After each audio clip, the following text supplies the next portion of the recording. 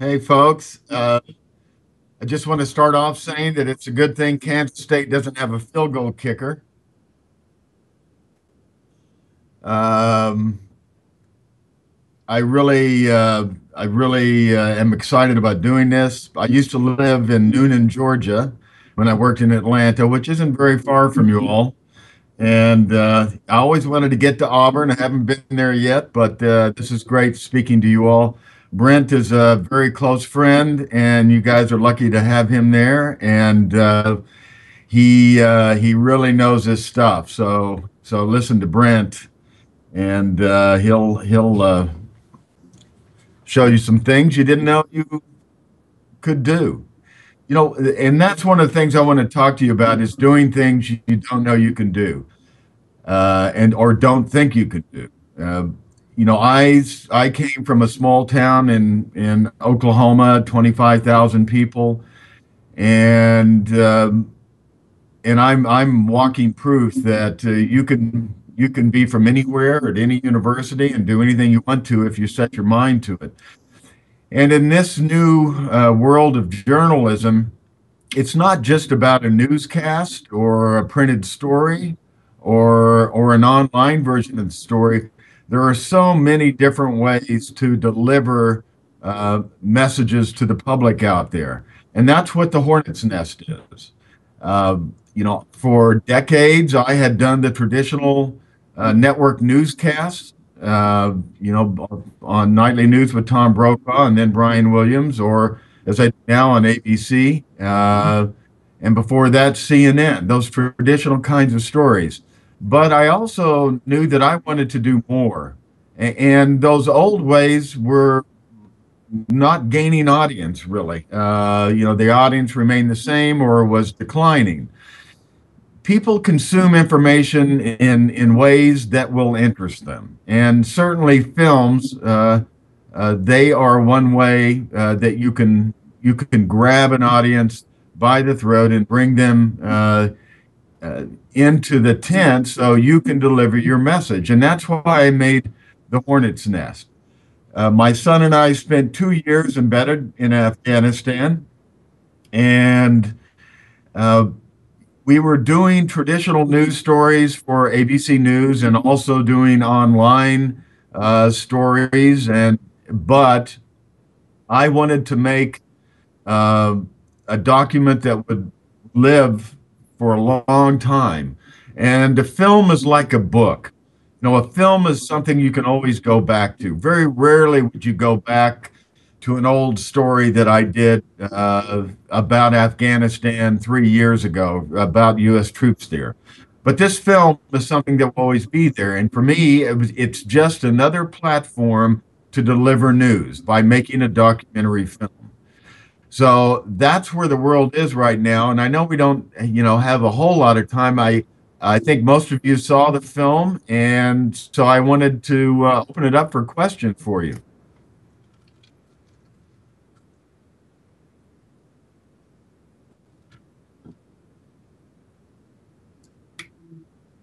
Okay. Hi, my name is Grayson Temple, and I'm a junior here at Auburn. Um, the first question I have is How do you educate yourself on such a complex topic? Well, I'm constantly reading um, several newspapers a, a day. I, I, I keep constant tabs on everything. And one of the problems I have with my students here uh, is that uh, they consume news differently uh, than I was brought up to consume news. They're, you know, basically most people are are uh, consuming news on their Twitter feeds, and you know, it you you kind of look at what you want to look at, or set you know set uh, set it so that you're getting alerted and you're seeing you know, feeds of news stories or or people uh, who are tweeting out there that that uh, provide the information you want. Oftentimes, that's not international news. and you know what I do is, you know, I I I, I follow uh, on Twitter uh, a lot of different people who really know that part of the world. But I'm also looking at traditional newspapers as well and uh, you know following them online, like the New York Times or the Guardian newspaper in the UK, uh, and there's Guardian America as well. And I'm constantly, you know, in the background here, I constantly have CNN or MSNBC or Fox News on, uh, and I'm watching to see what everyone's doing. Um, so, and and then I, I do it the old-fashioned way. You know, I look for books that uh, that uh, illuminate the topic of Afghanistan. So, you really have to train yourself to be a, a news consumer uh, for uh, information that you are inter- interested in. And you know now you have so many different ways you can do that. You can set alerts on so many different platforms to feed into you, so you can constantly keep tabs on an issue like that. And then the other thing is, it's just being there. Once you're there and you're you're working, you know, you're you're becoming a subject matter expert once you're on the ground and speaking to people and reporting the old-fashioned way, uh, you, uh, very quickly you learn a heck of a lot more than someone who's back in Washington uh, pontificating. Uh, thanks. Okay, my second question is How do your personal opinions or convictions on war uh, factor into the work that you did on the documentary Hornet's Nest? Well, people think I cover war uh, because I love it. No, I cover it because I hate it. And I believe that I th- think that the best way uh, to to keep from um, getting into war after war after war is to understand what war means in terms of blood and treasure. And the only way to really do that is, is to go out there and cover it uh, and to show people uh, not the video game aspect of war, but uh, the human cost of war. And that's why I continue to do it. And that's, you know, my personal view. I mean, very frankly, uh, war changes uh, human events. Uh, and not all wars are avoidable, but, but many are that do not need to be fought. I mean, war is uh, and conflict between humankind has been something that has been with us since the beginning of time, and it's not going to stop. But we can we can because there's always evil out there somewhere, and so sometimes, just like in World War II, those wars have to be fought. But there are a lot of wars that can be avoided, and it's easy for people who have not had to endure the sacrifice of war to make decisions to send young men and women into war. Uh, and so that's why I made this film. You know, this film uh, is is a film not just about war, but about family, and it's about loss inside that family. And that family are the young men and women in uniform who are out there serving. Thanks. Uh-huh. Hi, Mr. Boettcher. Uh, my name is Amber Rary, and uh, first off, I just want to congratulate you on the Hornet's Nest because it was great. Um, also, I kind of something that intrigued me about that um, was the way your coverage of the soldiers and like the way how did you go about that with like dealing with having to see the deaths and you know that connection between the soldiers and then later while making the movie you know how did you deal with their families and like how you were going to put this together in an appropriate way? You know you know it's i think the uh, tactic we used is something that should be used in journalism more often. It's very tough to to as we say parachute into into war into a unit or parachute into any story you would do without building human relationships and and of course, when you're a reporter and you're on the battlefield, uh, and you're uh, you're covering a particular unit, when you first go in there, you know that unit's going to be wary because here's a reporter, and he may be here just to show what we're doing bad. Uh, but what what I tell them is, uh, you know, 99% of what I normally see on the battlefield with U.S. troops is good. Uh, and I'm saying I'm not here to whitewash anything, but I, I show what you do day after day. and as I produce stories and go out there and cover those stories and show them that I'm right up there on the front lines with them, you know, uh, gradually they start to embrace me. And it really doesn't take that long. So that I'm able to go to places and see things and get comments that no one else is able to because I invest the time uh, into building those relationships. Now, when the um, after we produced the film, uh, we went. You know, it took a after we came back, it took a good two years uh, to get to get this edited because first, you know, we had to find. Uh, uh, you know, people who were because I'm not a Hollywood guy, I'm not a film guy, so I, I can sit here and edit what I think's a film, but but we wanted to do something that would uh, reach a broad audience, not just a small niche audience. So we had to look for a really good production company and good editors, and and also raise money to get this done. Um, and when we finally had the early version of the film put together, we believe that we would have nothing at all uh, if we didn't have the families of the fallen on our side. So the first people who ever saw the film were those families of the fallen, uh, and we we went all over the country with the film. Uh, we invited them to private screenings, and each and every one of them signed on. Uh, all of them, most all of them, were very reluctant in the beginning, but when they saw what we were doing was honoring the sacrifice of their sons and daughters, uh, they embraced it totally. Nice. And also, I just wanted to ask whenever you are covering like you know wars in Afghanistan and like the coverage, where do you draw as a reporter? Where do you draw your ethical line? My ethical line, Like as far as like what you'll show on camera and like you know like the way you did go. I mean, I thought you did it nicely, but you know different reporters have different aspects as far as they'll go with like showing what really is going on. Well, well, let's look at. I mean, I think you're talking in terms of, you know, the the the bloody aspect of this, correct? Okay. I mean, as you saw in the film, what we did was we didn't feel like we had to show that. We felt like we could deal with the with with loss and emotion in a different way by that fallen soldier uh, ceremony, for example, much more effectively than if we showed uh, those people dying. And I think those are societal norms. You know, different countries of the world do things differently. Their norms are different. There are some countries in, in Asia that will show graphic stuff. It's just a cultural norm.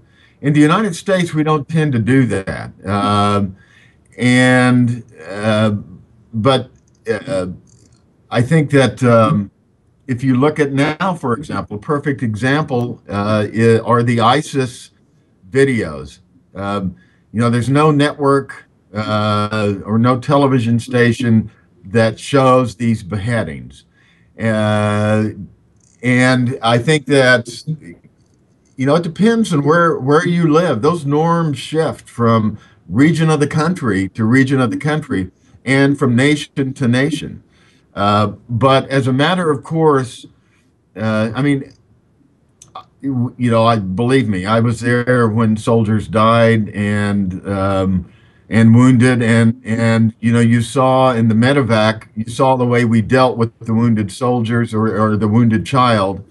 Um, we try to be as respectful uh, as as possible and be as sensitive. I guess my thinking is if if if that was my son or daughter, what would I, how would I want this treated?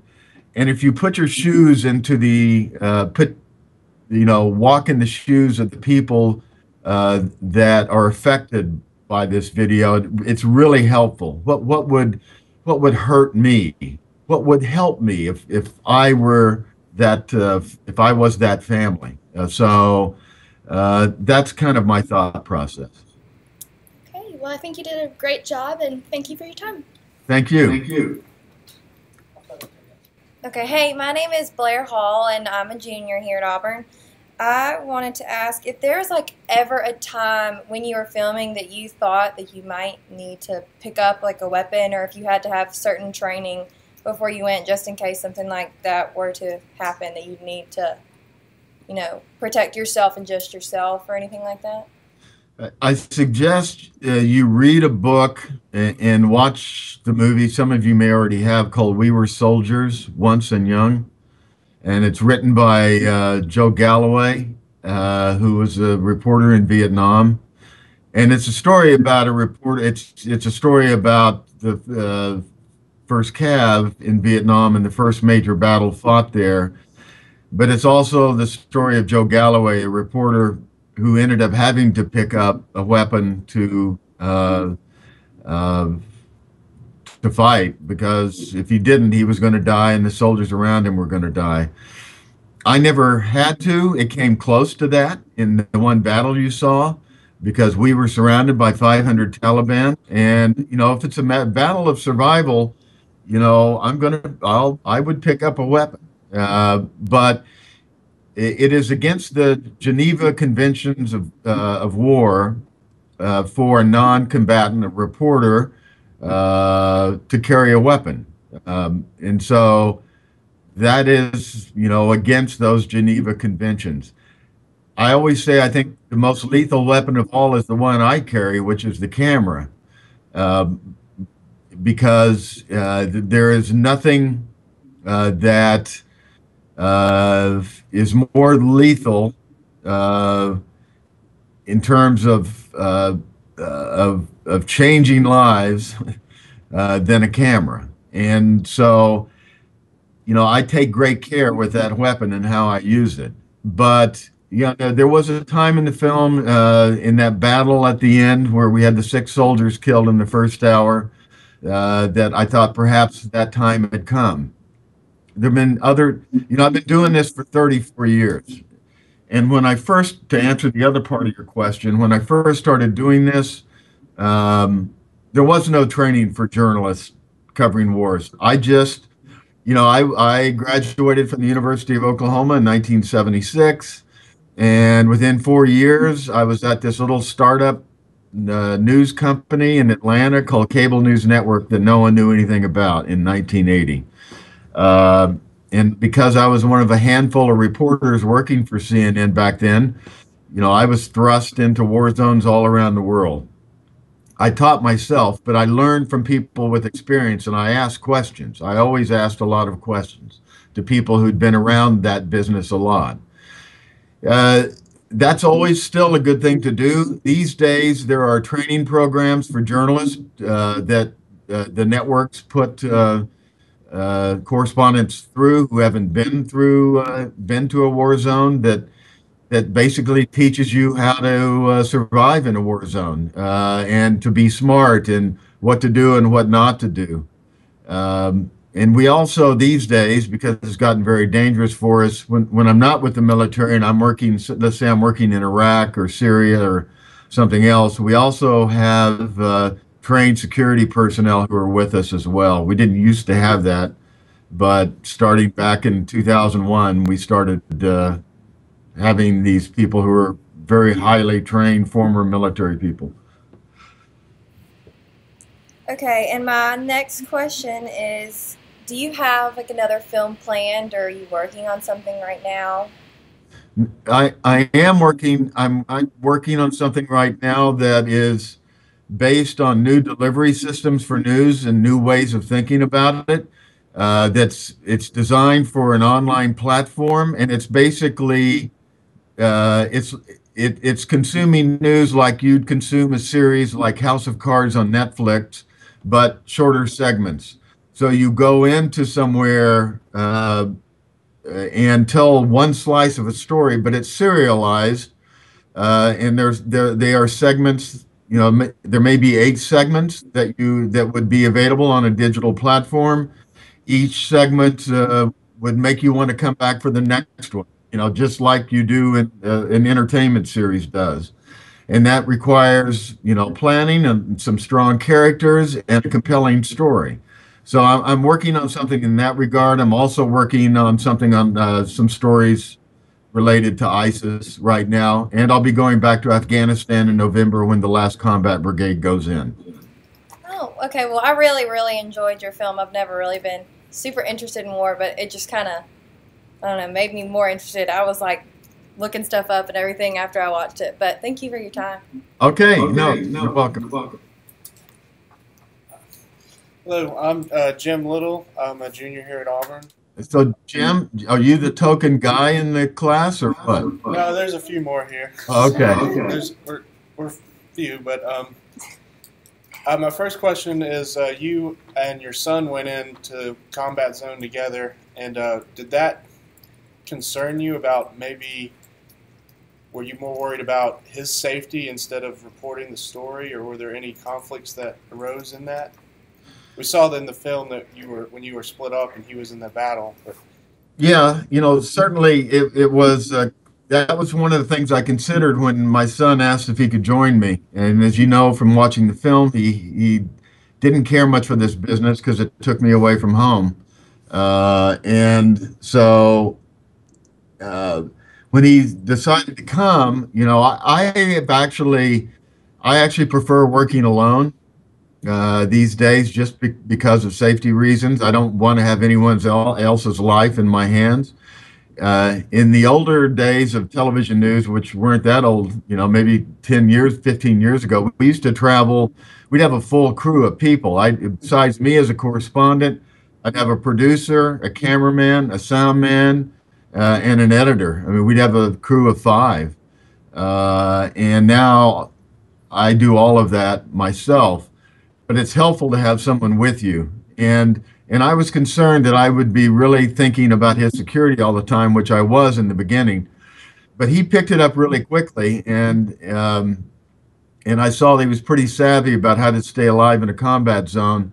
So, uh, you know, I I you never know what happens. You can you can take every safety measure you want in in a war zone but that doesn't guarantee your safety. So I always did worry about him, but he, you know, he worried about me too. Uh, and it turned out we worked great together. Um, and he, you know, this set him on a course where he's now at ABC News in New York as a staff producer, working uh, working there, and you know he works all over the world for ABC News now. Um, and my uh, second question is more related to uh, the, the type of equipment you use. I'm going into print journalism, but in the new media environment we're in, like every journalist has to be able to do writing, video, photography. So I was, I was interested in the type of uh, equipment you use while you were there. I'll tell you exactly what's in our pack. You know, Brent, I know Brent's been telling you this. I mean, if you're going into newspaper uh, or uh, you're going to be you're going to have to you know learn you know multimedia. You have to learn to use a camera video camera still camera you know writing different leads for your online version than your print version. Um, same thing if you're in television uh, in broadcast you're going to learn how to write an online story uh, and uh, shooting stills as well and video. It's all converged. So the gear I carried was to uh, make sure I could accomplish those missions. So I, I, because I'm, you know, in a battlefield, I travel light. Most of that film was shot with the JVC 150, uh, and uh, it's a small JVC HD camera, very durable. Uh, that uh, that I used. Uh, it shot. It shoots to SDHC cards and it's relatively inexp- uh, inexpensive. I mean, but you can go to smaller versions, prosumer versions of cameras, and and be just fine. You just want to make sure you have a good workflow that you're not shooting to tape, uh, you're shooting to SDHC cards or or uh, you know or or uh, flash cards or something uh, that that creates a good workflow. As well, we traveled with a still camera, uh, a Canon 5D Mark II, which can also shoot video. Uh, I also traveled. We had, we traveled with a couple of GoPro cameras. I also traveled with uh, uh a uh, Zoom H4n audio recorder uh, because sometimes if you're using If you're using uh, DSLR like the Canon 5D Mark II, you, you're going to want to record audio separately uh, to match up later on in editing. Oh, you got one. That's what I got exactly. So you're already you're already you're already there. So and that's that's my workflow. I, I edit in well, I edited in Final Cut 7 but I'm sitting here. They just installed, installed a whole new suite of stuff on my computer. They, I just got a new computer here that I'll use. So um, now I got to learn. I, I've been resisting, but Brent knows. But I got to go to Final Cut 10, Avid, and Adobe Premiere. So I I got to pick one of these. Uh, we use here mostly an OU Avid and Final Cut 10 or X, whatever you want to call it. But and I I I designed it so everything would fit in a relatively small backpack. So all of those items I told you about, I could fit in there, and I could also put some food and water in with me as well. And the um, the bag I used uh, that makes great durable uh, kind of a multimedia camera bag is uh, made by a company called Tenba. It's T E M B A, and I love my Tenba bags. So uh, that's how I moved around. That's what I used. Well, thank you. I really enjoyed the film. Thank you. Thank Appreciate, you. Appreciate it. Um, hey, my name is um, Katie Wood, and I just forgot my question. Um, and I wanted to tell you that I really enjoyed the film. And my first question is um, Did you find it strange that the Taliban told the children where the IEDs were? I know at the beginning of the film, there was this, or towards the beginning of the film, there was a scene where um, the Taliban had been in the area um, earlier that day where the children were, and they had told the children where the, I think it was the IEDs were, and then the children told the soldiers where they, the American soldiers where they were. Um, do you think that that illustrates progress in the country of Afghanistan? No, it it it, uh, it did and it does you know, the Taliban told because the Taliban's not interested in alienating the civilian population either. So they wanted to make, you know, they told the children where those IEDs were laid in that road, and the children always tell the adults. What they didn't count on was that the children would tell the Americans when they came through. So that's what indicated progress uh, was that they did that. And that's not true in every part of Afghanistan. I mean, it's been, it's, you know, frankly, Afghanistan is a big country uh, that's very difficult to navigate with mountains and deserts. And as we used to say and still do, everything in Afghanistan is designed to kill you. So it's it's hard to make uh, just step into an area and gain the trust of a population. You have to have a presence there. And so in this particular area, U.S. forces had worked to establish a presence and had been able to build some trust. And but they also know as a tactic, and some people don't do this, is you talk to the children because the children know a lot of stuff, and children like to talk. Uh, so it was a matter of relationships and the fact that children like to talk. But it does show progress. Yes. yes. Okay. Um, where my second question is: Were there ever times during the documentary that you or your son didn't think you would be able to keep going with the film? If so, why? Yeah, you know, over it's actually it was more like two and a half years. It's it's uh, really, you know, it wears on you. Um, you get tired, you get weary. Uh, sometimes you're saying, "Is this worth it?" You know there'll be stretches where it you're shooting all this stuff and it's not very interesting you don't think.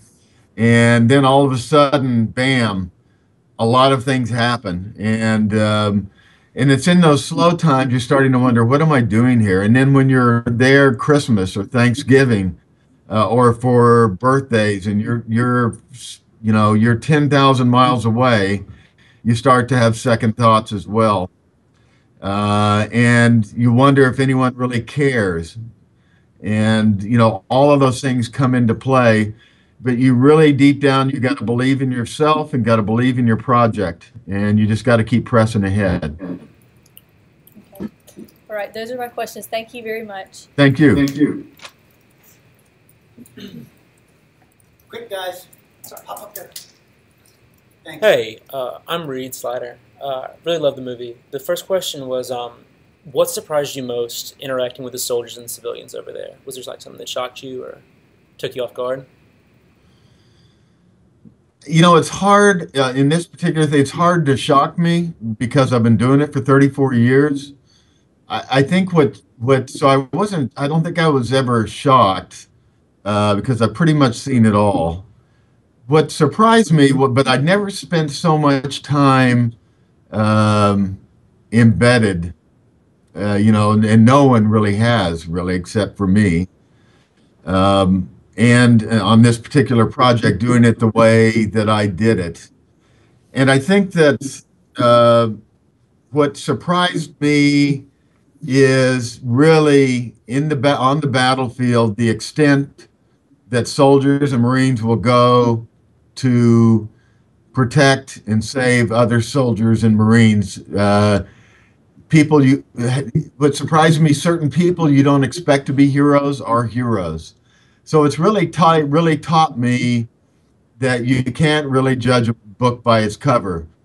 Specialist jameson Lindskog the medic who ran through that hail of bullets to try to save his buddies and apologize for dying he's the last person i expected would be a hero. He just was you know a really timid guy and it um, you know i it taught me to, to dig deeper into a person and and see what they're about, and rather than judging that cover.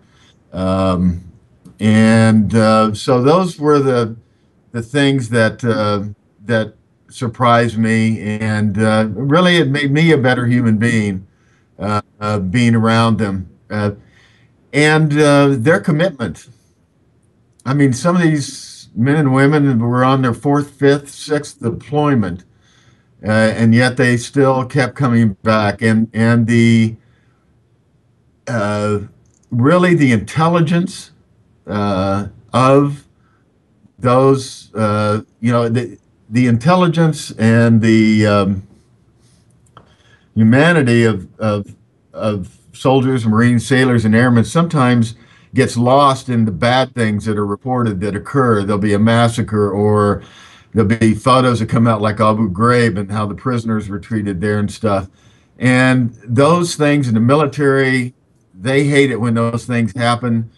Uh, and they're the ones who are more upset than anybody about it because it tarnishes this vast majority, and I'll say 99%, who are really, really smart and really, really committed.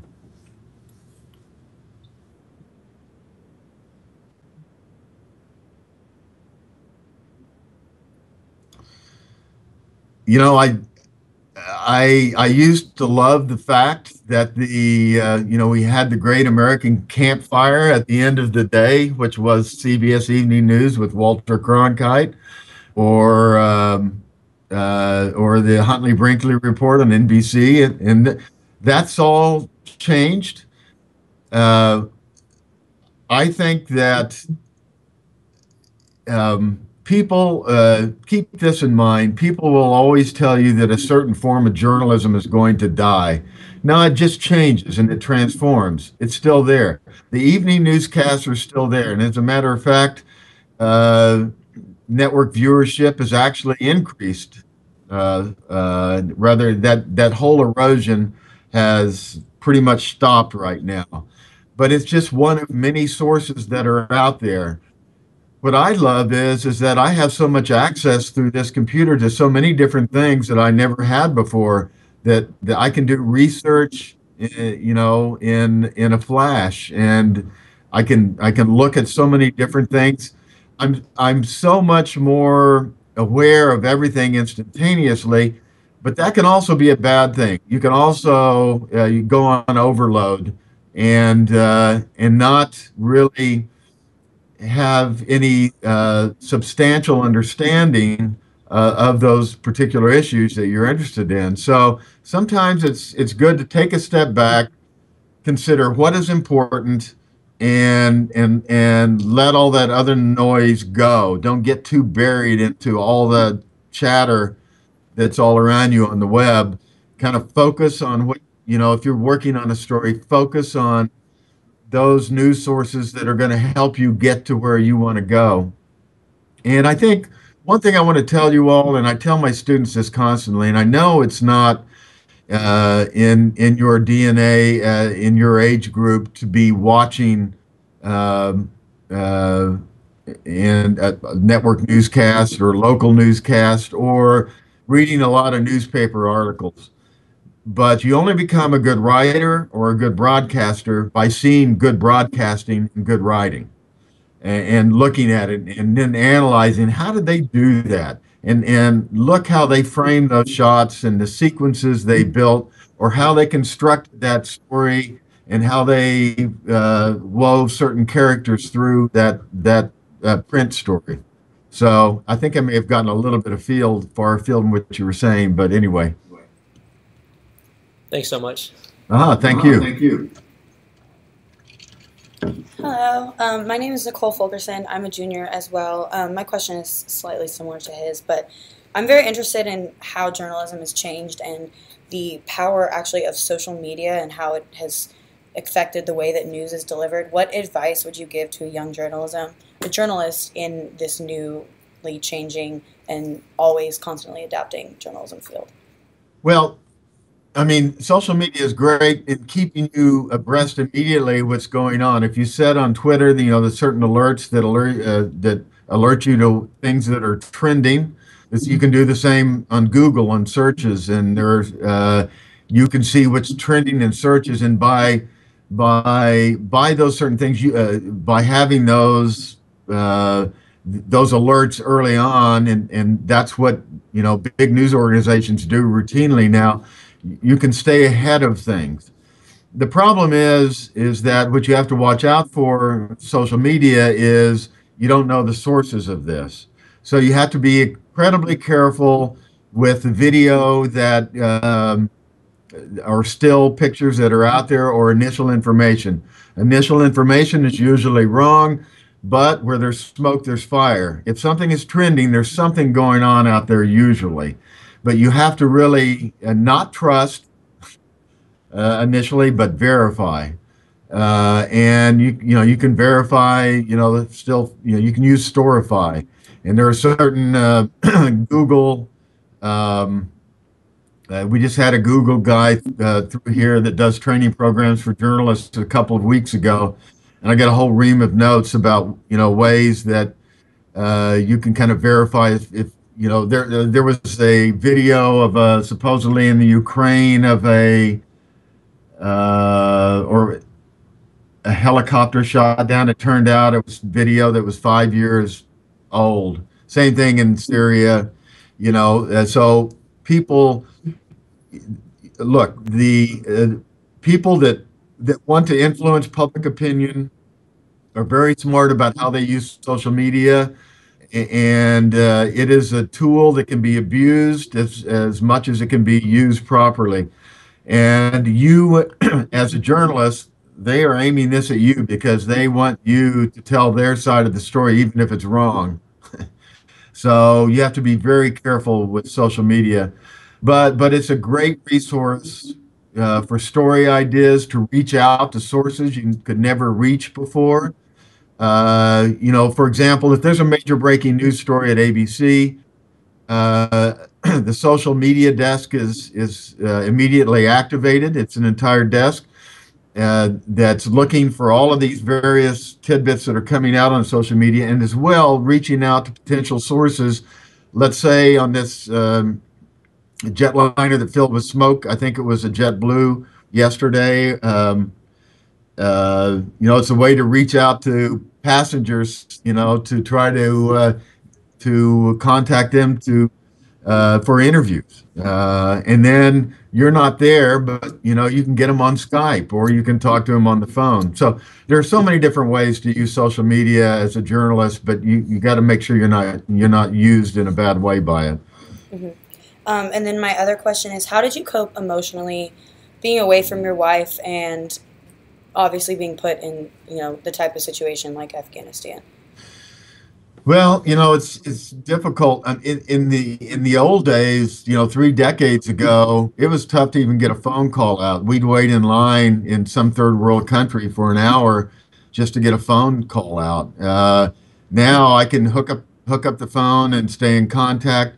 But emotionally, it's very difficult, and that and that's one of the things that uh, uh, news organizations are be, become more attuned to is the emotional toll that this business takes on you. Not just mine uh, in in covering war, which is the extreme version of it, but if you're working in uh, uh, you're working in Birmingham, for example, at a television station there. Uh, you, are going to see things that no other people see that sometimes that are horrific, and and so you always have to, you know, make sure you don't become too hardened.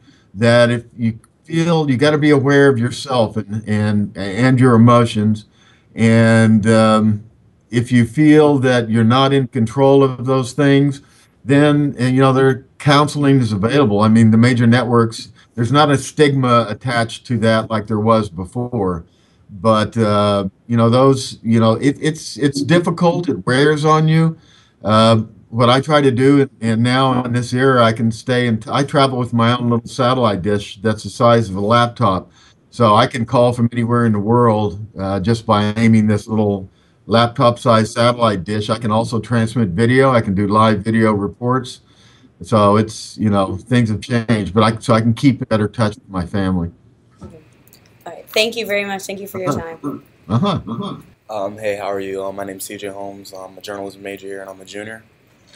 Um, you mentioned you mentioned in the documentary that your line of work has put a strain on your relationship with your son. Um, since the events of the film, has our relationship improved? Yeah, no, absolutely. I mean, Carlos and I talked several times a day, and it was a matter of, you know, it, it was making up for lost time. All those, all that time that I wasn't there with him. Uh, you know, there, there's nothing that brings people closer together than uh, fighting for your life uh, and uh, certainly that that made us very very close. I mean, uh, it, we're as close as now as a father and son could be, and uh, that's you know I want to throw out one thing here. That's what's important about this job it, to know. Don't let it occupy every eh, sector of your life. It's important to keep a balance as a journalist. I believe I've been horrible at that. You know, I you know every time something happened, I raised my hand and said, "Send me." But you know, I wish there were times I wish I wouldn't have said that. You know, I would trade that time with my son. So try to keep a balance in your life. Remember, you know, how important family and community is, uh, and not just journalism. Because if you keep those things in balance, it, it makes you a happier person, and, and which will make you a better journalist. Um, and one more question. Um, you've ob- obviously spent a lot of time with you know a lot of different military groups. Um, has there been a soldier or a group of soldiers that have stood out and made a personal impact on you? Yeah, I mean there've been several. Um, you know, I just had one here this weekend with me who basically saved my life in Afghanistan, and he got out of the military. He has three Purple Hearts, highly decorated wasn't sure what he wanted to do, and uh, I convinced him to come to school at the University of Oklahoma. So he's moving from Iowa and coming down here. There were a lot of them who made a huge impact on me. I think the one who I find the most extraordinary in the film, though, was Captain Mott. Uh, and you saw him in the film. He is the one who was in the original. He, was shot off the top of a mountain, broke all these bones, was had his scalp pretty much torn off, multiple fractures in the head, and within six months he was back leading his men. He's a really an extraordinary guy. Um, and so Captain Mott, if I had to pick one out, it would be him. As a commander, it would be Colonel Vowell from the No Slack Battalion, who you saw, and I'll be back with him in Afghanistan here in November. He's now leading the final combat brigade in Afghanistan. They'll be deploying shortly. Uh, thanks so much for your time. Thank you. Thank you. Hey, um, I'm Emily Curley, and my question was, um, what do you think that the women brought to the like, I don't know, the table? I mean, like, I mean, I know that they're very important, but like, do you think they brought something a little different in, you know, like that maybe men, you know, because they're so different, men and women. And I just wanted to learn more about the women because that was a short. Yeah, you know, absolutely. That's one of the things I want to explore more. Yeah, they bring they bring so much to the table on this, and and the women I was with, uh, were every bit as brave as the men I was with. I mean, the women flying that uh, medevac mission, I mean, the women flying those missions were were flying into hot LZs, uh, hot landing zones, as we call them. And that a hot landing zone means you're under fire. Uh, and they were in some extraordinary circumstances. Um, and I, I think though they bring the sensibility uh, that women have. I mean, men and women are really different. And I think that you know women um, women think more long term uh, rather than short uh, term reaction that men often find themselves in. W- women uh, think about what this reaction will result in this happening, and I think that that thoughtfulness brings a lot to the battlefield. Okay. Yeah. Um, um, my second question is how do you keep your like heart from being hardened? How do you come back here and I don't know, hear people say, I've had a hard day. Are you like how do you kind of not be like, you haven't had a hard day, you know? Yeah, I don't know. Because after I watched the film, I mean, I got in my car and I cried and I was like, I'm never saying I've had a hard day ever again. so I don't know. I couldn't imagine being you and coming back. That's the same thing I do. You know, I, I always try to put myself, uh, I always think about, it was like when I was growing up as a kid and I wasn't eating everything on my plate. You know, my mom used to say back in the days when China was impoverished, used to say, remember all those starving kids in China, you know? And I, I, I think that um, a couple of things. I mean, I think of those other people out there who are having a much harder day than me in, in Syria and Iraq right now, for example. Uh, and and um, I, I, think your spiritual well-being is something too. Uh, you have to believe that I I believe in something greater than myself, and whether you you know you can call that anything. You know, if you call it God, Allah, higher power, whatever, I believe that there is something greater out there, and that you know I've been put here for a reason to try to do something good. And so all of those things combined, uh, I think, make you know help to make me someone uh, that travels the world without a hardened heart. Okay, great. Thank you so much. I really Thank you. enjoyed Thank it. you. Thank you. Thank you.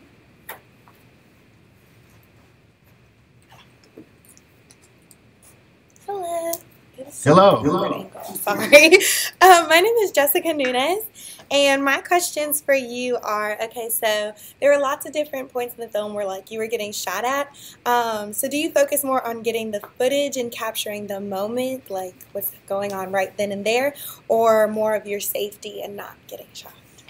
One of the dangers of being a cameraman, and, and now I'm a correspondent, a cameraman, a producer, an editor. I do all those things for ABC when I go, you know, out in the field. um, you become lost in that viewfinder, and you you know, you you've got to kind of balance that with your own safety, and and that's what gets a lot of camera people killed is that their world is that viewfinder. What I find I do is I'm I really you know Robert Capa said if uh, if if it's not a good photo you're not close enough. He was a famous photographer of more than a half century ago, and so I try to get really close, and, and but when if I have my video camera. Uh, I'm actually using the uh, rather than in the uh, viewfinder, I'm using the LCD screen a lot just because I need to be aware of my surroundings. I need to keep my head on a sw- swivel for security, but also I need to look for other thing, uh, things happening around me that are of interest. And that's always good when you're out there. You do want to use the viewfinder as much as you can, but you want to be aware in a world where you're going to be working alone sometimes uh, of other things that are around you. In the old days, a producer would tell the cameraman or the correspondent, hey, you know, there's something going on over here now, and there's something going on over there. Uh, and so I keep my head on a swivel and try, uh, and um, I try not to get lost totally in, in the image, although, you know, I, I'm very focused on it. Okay. And my second question is, if you could do it all over again, what would you would you do anything different with the film? Like, would you keep the same stuff that you have? Would you leave stuff at, out, excuse me, or would you add anything else? I think that uh, what I would do is uh, I would have added a longer section uh, about the women uh, who were uh, involved in in uh, the film and in combat. But I'm actually going to work on something on that separately, um, and I, I think I would have done more on that, frankly. Are you the last one? Hey, I just want to tell you all. I, I want to tell you all. I speak in journalism schools all around the country, and um, and I take a lot of questions. Um, and I got to tell you, this is no BS. These are the best questions I have ever been asked uh, by journalism students. So I did, I want to let you know you guys are on the right track, and I'm highly, highly impressed with the caliber of student there at Auburn. Sure. How did you get that footage like inside the Taliban? Oh well, that that footage was after the battle. Uh, it was recovered on the battlefield. Um, uh, so and and then that it was the military had it. But oh, that's one thing I want to tell you all. Very important when you go out in the field and stuff. Uh, anyway, I, I requested it. I heard about it. I didn't know they found it. And I heard about it and I said, Can I have it? And they said, Yeah, it hadn't been classified. Uh, but it's very important out there on the battlefield and out there in Auburn. When you go to an event or, or a news event or something's happening, everybody's got a camera these days because we all carry smartphones. So make sure if you go somewhere, you ask people, do you have video of this? Do you have video of that? And invariably, someone's going to be had been there at the beginning and will have things that, that will help enhance your story. And you know, so I just wanted to make that point. Yeah, uh, it was captured after the battle. Yeah, I thought that was really valuable. I just I didn't think you like went in and asked to video them, obviously, but I just didn't know how you got it. No, they don't. They don't like me very much. I was going to say one other thing about that, Mike, and, and you can maybe talk about this real quick. Anybody's got to go can go, but this was a dual role. I know, and you don't have to get into too much detail, but you were an ABC News correspondent. You were doing that job this whole time, right? So Correct. the other this footage was on your mind, but you were reporting for the news every day and every week. Yeah, no, absolutely. Um, yeah, I had to keep two things in mind. I mean, I was doing daily news coverage. So I was thinking about, okay, what am I going to get to ABC? What story are they going to be interested in? At the same time, I'm thinking film, and that's that's a point I want to make, is that there are so many different things you can do with the material you gather that can go out there on multiple platforms. So, you know, besides doing with the same material, with that material I shot on my camera, I was doing ABC News stories. I could uh, I could then repurpose that as an online story for ABCNews.com and Yahoo News, who we partner with. I was thinking documentary film as well, so I was kind of keeping tabs that okay, I have all this material. I can I can do a longer documentary. This is if I'm going to make a film, I'm, I'm going to need more like this. So, you know, th- that's what I tried to say at the beginning. There's it's it's just keep your eyes open to all the different platforms that are out there to get your message across, to get to get your hard work and journalism out there. Uh, not just in newspapers or television station, but in theaters uh, and in uh, you know online. Yeah. Do you have one thing to say? Do you guys want to give him one real quick? Because it'll make him cringe a little bit. Because he, he says boomer sooner, but we say something else. So here's a good big War Eagle. War Eagle! Okay. Hey, That's hey, you guys have some fun.